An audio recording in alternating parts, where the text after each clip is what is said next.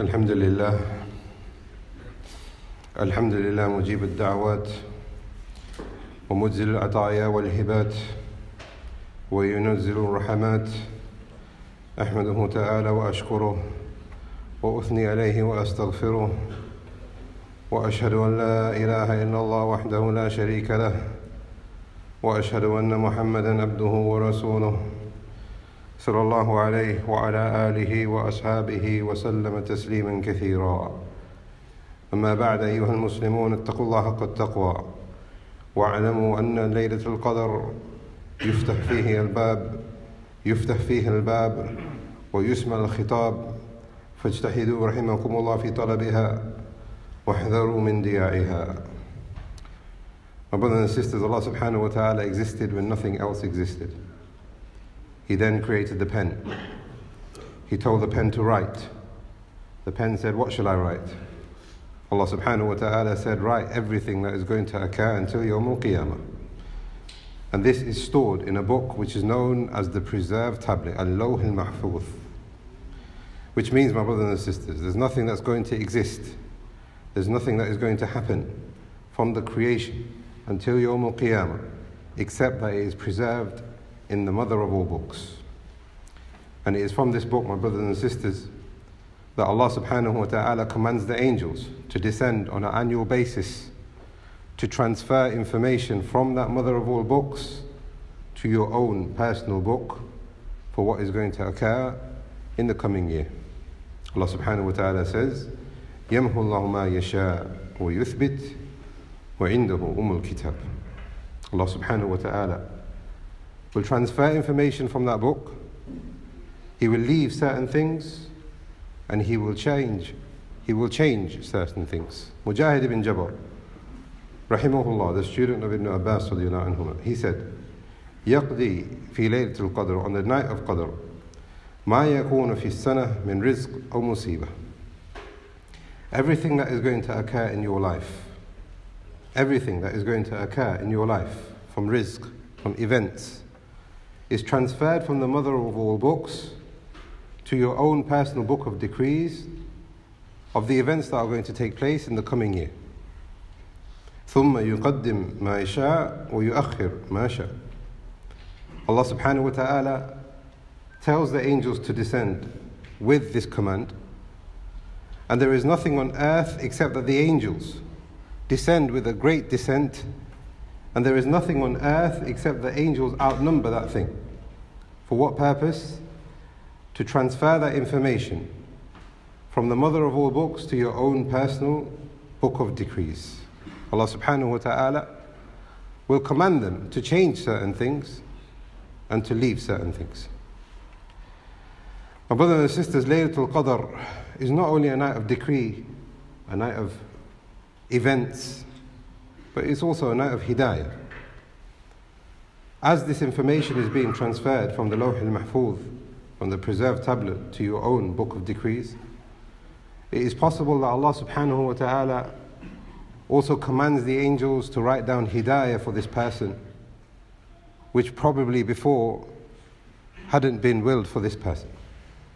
So once you have a person, and we have witnessed this ourselves, is sinful before Ramadan, after Laylatul Qadr, where he stood and he asked Allah subhanahu wa ta'ala, this person's life has been completely transformed because of this transfer of information from the Lawh al-Mahfuz to his own personal book. Ibn Abbas anhuma, he says, في تلك الليلة, on the night of Laylatul Qadr, تفتح فيها أبواب السماء كلها. All of the doors of the heavens are made wide open. Why? Because of your dua to enter through them. Because of your worship to enter through them. Your salah to enter through them. Your Quran and your dhikr to enter through them. وتقبل فيه التوبة من كل تائب. And your tawbah to enter through them. He said, Ibn Abbas anhuma, that there is no person who makes tawbah on the night of Qadr and Allah subhanahu wa ta'ala accepts it except that that person's repentance will be accepted and because of the magnitude of this night this person's life is completely transformed My brothers and sisters, the Prophet ﷺ said in a hadith in Sahih al-Bukhari, التمسها في أشهر الأواخر من رمضان Seek Laylatul Qadr in the last 10 nights, not one particular night, every single one of them. In another version, he said, Sallallahu Alaihi Wasallam, لثالثة تبقى Seek it in the remaining three nights, 27, 28, 29, or 20, 28, 29, 30. In another hadith, the Messenger of Allah وسلم, said, in a hadith which has been made Hassan by Shaykh al-Albani, إنها ليلة سابعة أو تاسعة وعشرين. Surely Laylatul Qadr is on the 27th night or the 29th night, which is tonight.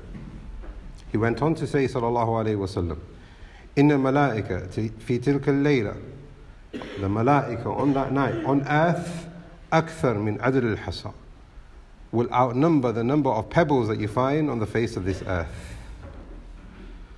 But then we have another report.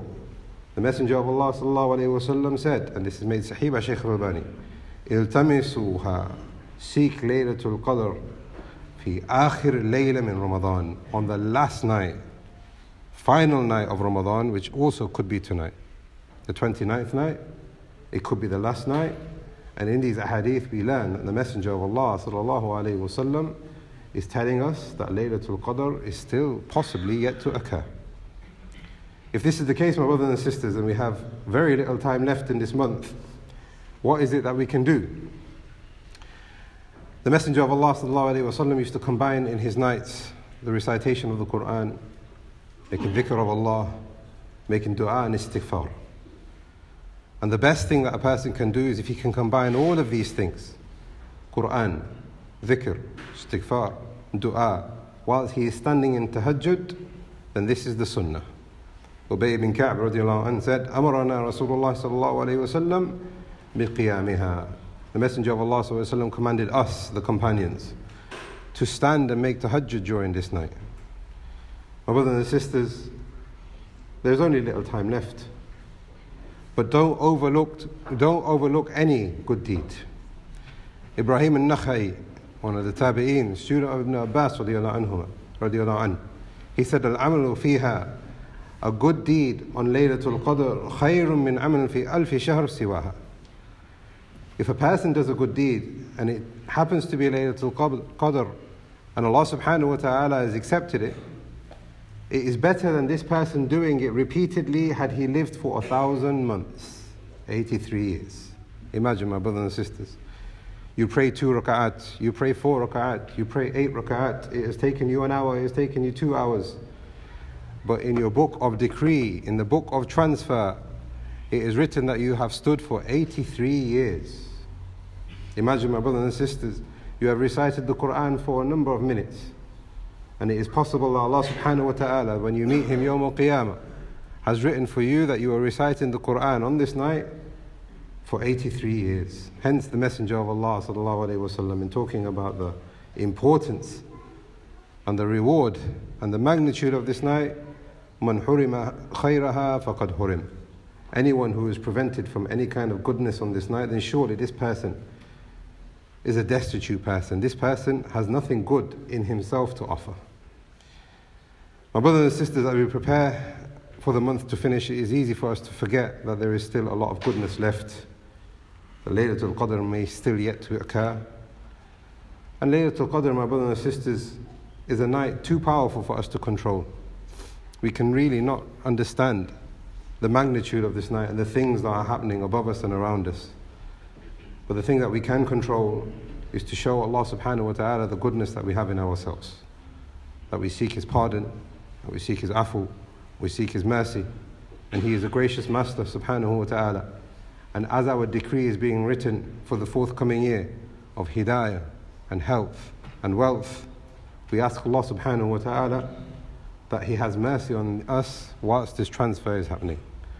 من كان يريد العزة فلله العزة جميعا إليه يسأل الكلم طيب والعمل الصالح يرفعه بارك الله لي ولكم في القرآن العظيم ونفعني وإياكم بما فيه من الآيات والذكر الحكيم. أقول قولي هذا وأستغفر الله لي ولكم ولجميع المسلمين فاستغفروا إنه هو الغفور الرحيم.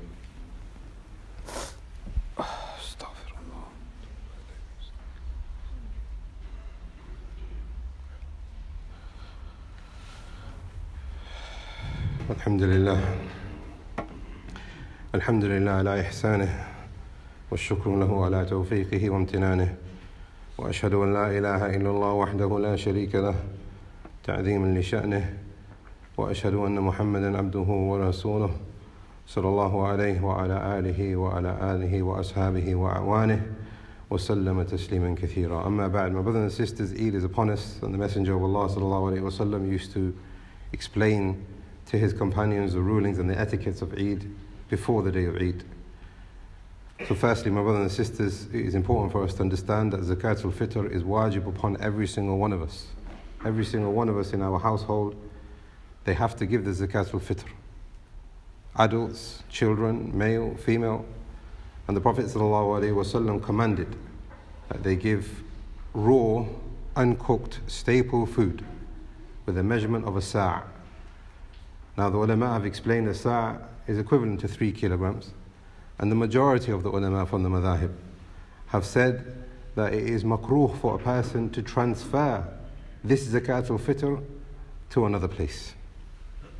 Therefore, it is upon us if we are able to look for a poor person, a needy person, and give them three kilograms of staple food which will benefit them on the day of Eid.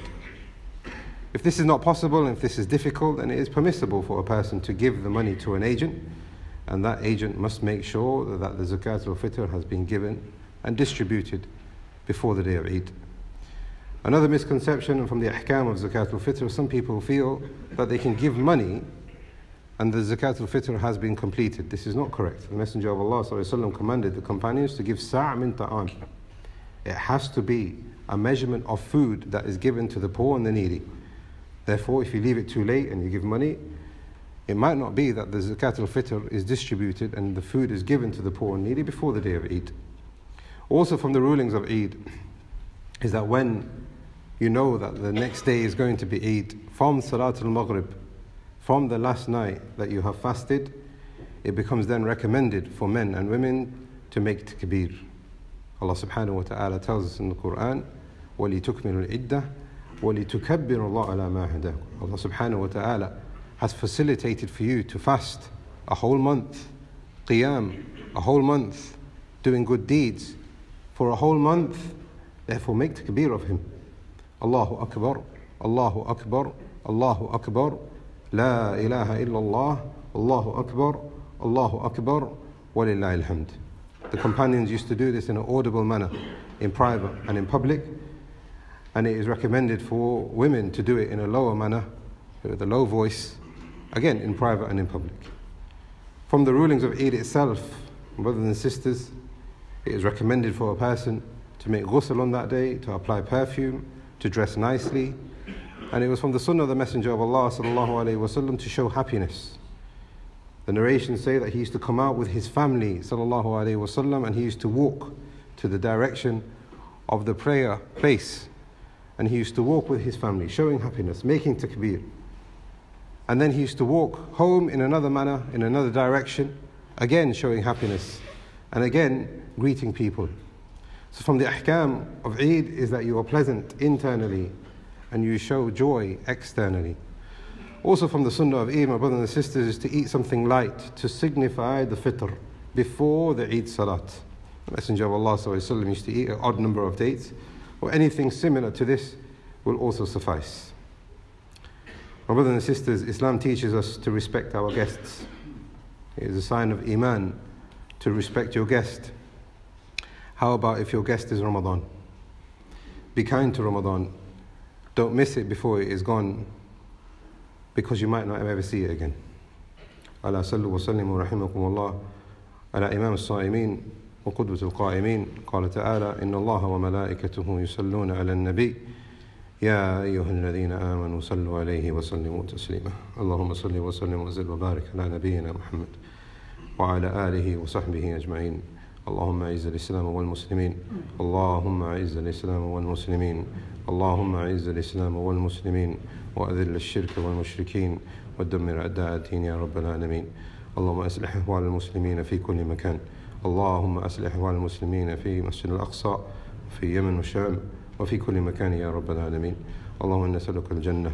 اللهم إنا نسألك الجنة. اللهم إنا نسألك الجنة. وما قرب إليها من قول أو عمل. ونعوذ بك من النار. اللهم نعوذ بك من النار. وما قرب إليها من قول أو عمل. اللهم إنك عفو تهب العفو فاعف عنا. اللهم إنك عفو تهب العفو فاعف عنا. ربنا تقبل منا إنك أنت السميع العليم. وتب علينا إنك أنت التواب الرحيم. اللهم اختم لنا رمضان بقبول والرضوان يا رب العالمين. اللهم اللهم عائد علينا رمضان عديدا ونحن على خير يا رب العالمين. اللهم آتنا في الدنيا حسنة وفي الآخرة حسنة وقنا عذاب النار. سبحان ربك رب العزة عما يصفون والسلام على المرسلين وآخر دعوانا أن الحمد لله رب العالمين.